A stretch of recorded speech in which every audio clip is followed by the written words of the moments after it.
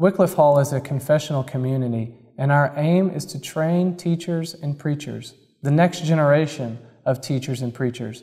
We want to teach people not only what the Bible says, but how it applies to our lives, not just to inform, but to transform. And that's why it's exciting to be part of Wycliffe Hall.